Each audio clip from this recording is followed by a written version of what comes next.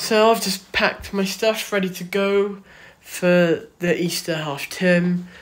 Uh, when I uh, right now, this is going to be the last time that I see this room as an eighteen year old. Upon my return back on the fifteenth of April, I will be nineteen. I'll have been nineteen for six days.